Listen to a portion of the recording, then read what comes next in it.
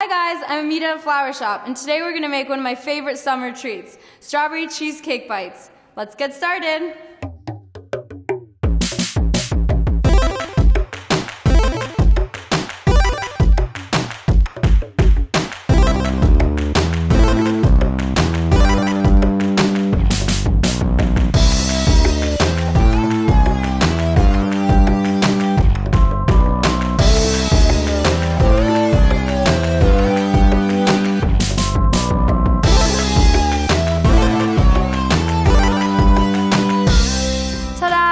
Super quick and super yummy.